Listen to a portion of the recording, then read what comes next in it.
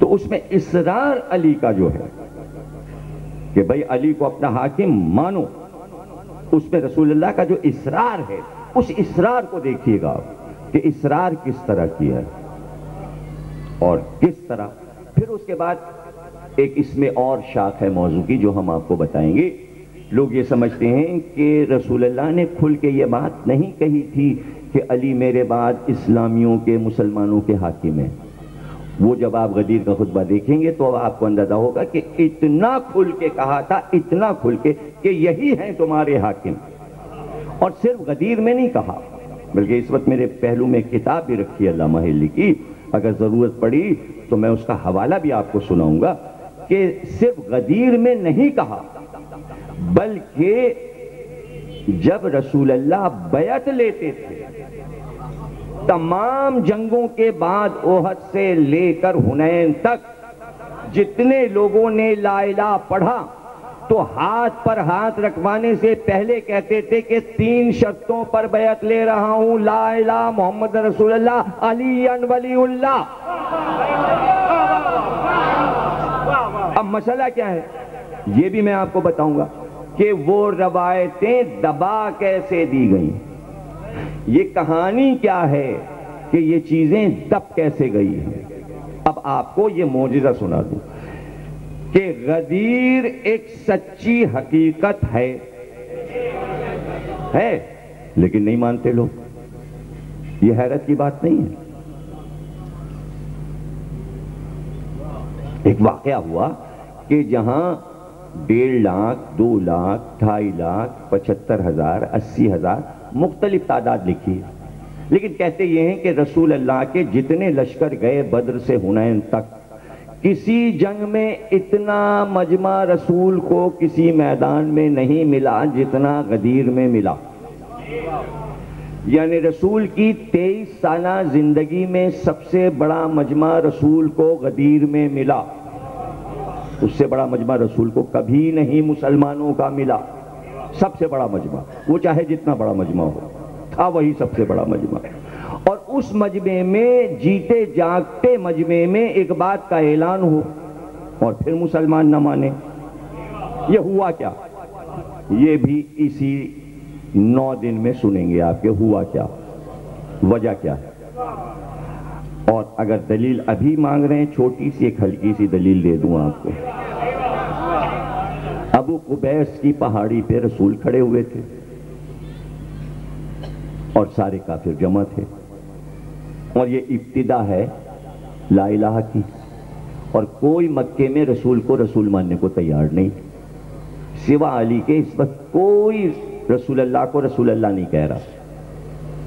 सिर्फ़ एक बारह साल का लड़का कहता है, या रसूल अल्लाह और कोई मानने को तैयार नहीं। घर वालों को छोड़ के पूरे मक्के शहर में कोई नबी को नबी मानने को तैयार नहीं। और सब मज़ाक उड़ा रहे हैं, अबू लहब भी, अबू सुफियान भी, अबू जहल भी, पत्थर भी मार रहे हैं, बच्चों को भी पीछे लगाया एक मुसीबत का दौर है वो।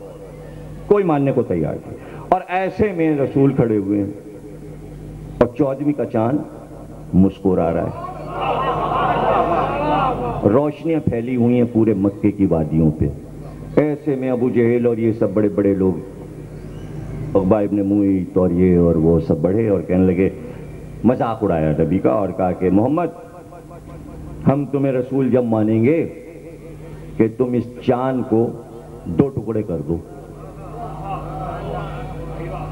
चराल के आलम में नबी ने सबको देखा और कहा कि, तोड़ दूँ चाँद? इस चाँद को तोड़ दूँ? चाँद तो मैं तोड़ दूँगा। लेकिन तुम में से कोई एक भी लाइलाहा नहीं पढ़ेगा, मुझे मालूम है। इसलिए कि मैं तुम्हारी लाशें बद्र के गढ़े में देख रहा हूँ। तुम अली के हाथों से कत्ल बद्र में पड़े हुए हो, मैं देख रहा हूँ। तुम नहीं कहोगे लाइला ये यकीन देखिए नबी का, तुम नहीं कहोगे लाइला और उसके बाद उंगली उठी। चाँद के दो टुकड़े हुए। कुरान में मौजूद है कि कोई इनकार कर दे, तारीख नहीं है। सूर्य कमर मौजूद है। अनशक्ल कमर। और चाँद टूट गया।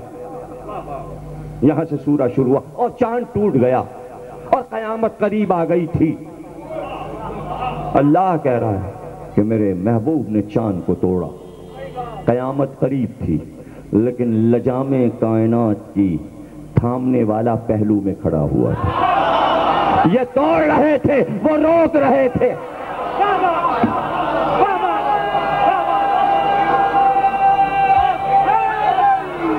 कयामत करीब आ गई। कयामत करीब आ गई थी। और कयामत आ नहीं सकती, इसलिए कि जब तक इनका कायम ना आ जाए जब तक इनका कायम ना जाए तो आ कैसे सकती थी? तो क्या हुआ? चाँद टूटा ना? एक हकीकत, एक मोजीजा। टूट गया, फिर क्यों नहीं ला इलाका भाई, वादा तो यही था, चाँद टूट जाए तो ला इला कहेंगे। उसी दिन पूरे मक्के को मुसलमान हो जाना चाहिए था। फिर नबी को तेरह बरस क्यों लगाने पड़े मक्के में? अब आप समझे ही नहीं तो फिर मैं क्या करूँ? इतना बड़ा वाकया हो गया कि चाँद टूट गया, मक्के वालों ने फिर भी कलमा ना पढ़ा, ना मुसलमान हुए, जब तक अली ने जुल्फकार न खेची, मुसलमान ना हुए। क्या ये कहूँ? नहीं, ये जुमला अभी नहीं कहूँगा, बाद में कहूँगा। यानी चाँद टूट गया, फिर भी मक्के ने कलमा नहीं पढ़ा। और जब बद्र छिड़ गई, और ओहद में जब जुल्फकार आ गई तो अब पूरा अरब मुसलमान हो गए। है ना? गदीर में रसूल अल्लाह ने कहा, अली मेरे बाद हाकिम है। किसी ने नहीं माना। अरे जब चाँद टूटने पे नबी को नहीं माना तो नबी के ऐलान पे अली को नहीं माना। इसमें क्या हैरत की बात है? इसमें क्या हैरत की बात है? अच्छा वहाँ कब माना? चाँद टूटने पे नहीं माना। अली की जुल्फकार पे माना। यानी जब सर कटने की बारी आ गई, जान पे बन गई तो कहा, ला इल्लल्लाह।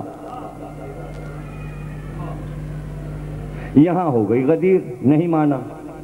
इसके माने गदीर के बाद फिर एक बद्र हो हद हो, तब जाके मानेंगे। जैसे शक्कुल कमर के बाद बद्र हो हद खंदक, खैबर होना है तो माना।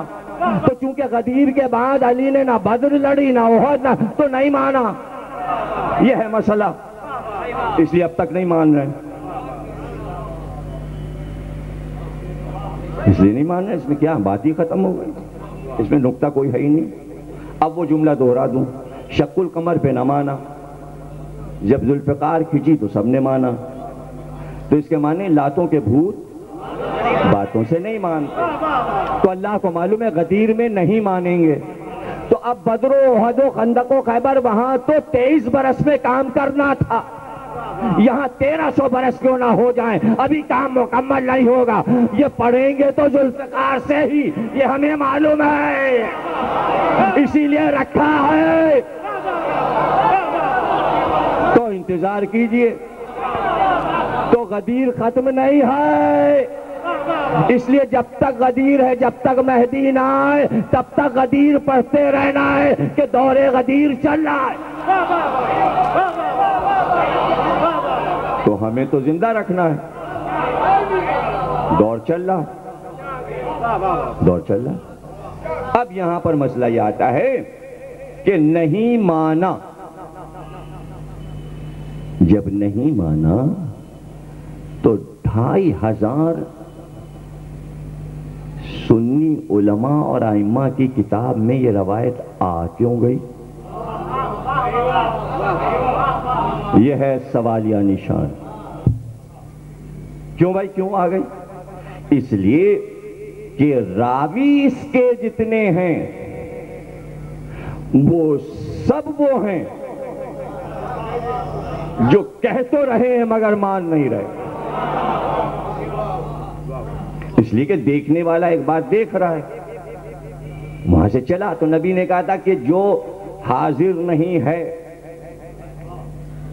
यहाँ वाला उसको जाके सुना दे। ये था अरबों का एक दिलचस्प मौजू, रावी बनना। अरे, अब भी शौक है। हमसे पूछिए, वहाँ क्या वाकया हुआ? आपको नहीं मालूम, हम तो वहाँ थे कि लिप्टन की तरफ़ से आ रहे थे तो हम तो सड़क से गुजर रहे थे, हम बताते हैं क्या हुआ। दूसरे आ गए, अजी, आप उस तरफ़ थे, हमने तो इधर से देखा। तो जनाब आली, रावी बनने का शौक मुसलमानों में आज भी है। आजकल रावी को रिपोर्टर कहते हैं, बस नाम बदल गया है।